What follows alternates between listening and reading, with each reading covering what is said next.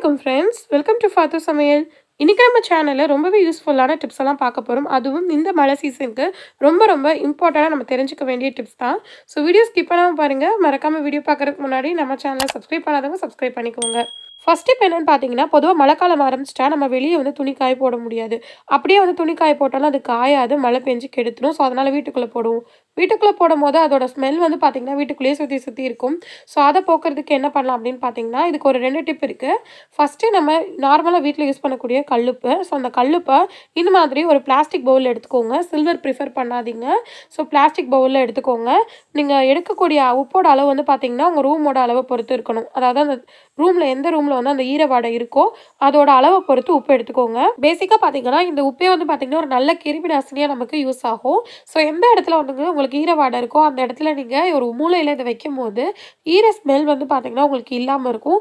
கண்டிப்பாக இதை ட்ரை பண்ணி பாருங்கள் மழை காலத்தில் இந்த மாதிரி அதிகமாக நீங்கள் வைக்கும் போது ரூம் வந்து பார்த்தீங்கன்னா ஜன்னல்லாம் அடைஞ்சே கிடக்கிறனால ஒரு மாதிரி ஸ்மெல்லாம் அடிக்கும். ஸோ அது மாதிரி அடிக்கவே அடிக்காது. இது கண்டிப்பாக ட்ரை பண்ணி பாருங்கள் கிச்சனில் நம்ம மளிகை சாமான்லாம் வைக்கக்கூடிய இடத்துலயே வந்து பார்த்தீங்கன்னா நம்ம இதை வச்சுக்கலாம். இதனால வந்து பார்த்தீங்கன்னா அந்த இடமும் வந்து பார்த்தீங்கன்னா உங்களுக்கு ஈரவாடை அடிக்காமல் இருக்கும். அதே மாதிரி கற்பூரம் நம்ம வீட்டில் வந்து எந்த ரூமில் அதிகமாக ஈரவாடை இருக்கோ அந்த ரூமில் வந்து ஏற்றி வச்சாலுமே வந்து பார்த்தீங்கன்னா உங்களுக்கு நல்ல ஒரு ஃப்ராக்ரன்ஸ் வரும்.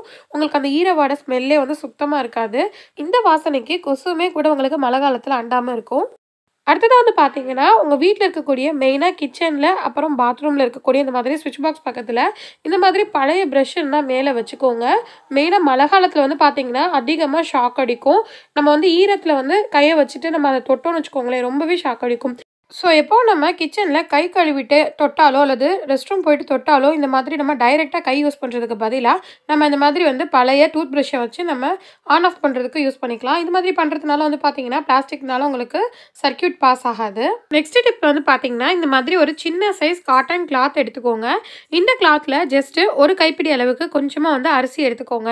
இதை வந்து நம்ம ஒரு சின்ன மூட்டை மாதிரி வந்து கட்டி எடுத்துக்க போகிறோம் அரிசி வந்து பார்த்தீங்கன்னா இயற்கையாகவே வந்து ஈரத்தெல்லாம் நல்லா உறிஞ்சி வச்சுக்கும். ஸோ இந்த மூட்டை நம்ம எதுக்கு யூஸ் பண்ண போகிறோம்னா நம்ம பீரோக்குள்ளே ரொம்ப வந்து எப்பயாவது எடுக்கக்கூடிய ட்ரெஸ்ஸஸ்லாம் மடிச்சு வைப்போம்.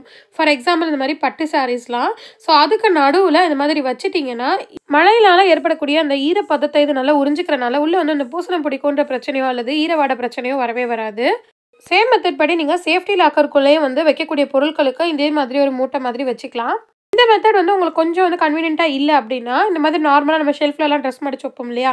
அதில் வந்து இந்த மாதிரி ஒரு சாக் பீஸ் எடுத்துக்கலாம். சாக் பீஸை சின்ன சின்ன பீசஸாக கட் பண்ணி அங்கங்கே வந்து ட்ரெஸ்ஸுக்கு அடியிலையோ இல்லை நடுவுலையோ நம்ம போட்டு வச்சுக்கிட்டோம்னா இந்த சாக் பீஸ் ஈரத்தை உறிஞ்சிக்கிறனால நம்ம ட்ரெஸ்ஸஸ்லாம் வந்து பார்த்தீங்கன்னா மழை காலத்தினால ஈரவாடை வராமல் இருக்கும். கண்டிப்பாக ட்ரை பண்ணி பாருங்கள் நெக்ஸ்ட் வந்து பார்த்தீங்கன்னா நிறைய பேர் வீட்டில் வந்து பாய் யூஸ் பண்ணுவீங்க. அதுவும் கெஸ்ட்டுக்காக தனியாக பாய் வச்சு மேலே வச்சிருப்போம். அந்த அந்த மாதிரி பாயெல்லாம் எப்போவது யூஸ் பண்ணுறதுனால பூசணம் பிடிக்க நிறைய வாய்ப்பு இருக்குது அதுக்கு என்ன பண்ணலாம் அப்படின்னு பார்த்தீங்கன்னா இந்த மாதிரி பாய்க்கு நடுவில் நடுவில் நம்ம வீட்டில் யூஸ் பண்ணுவோம் இல்லையா டால்கம் பவுடர் ஸோ அதை வந்து போட்டு நம்ம தட்டி விட்டுறலாம்.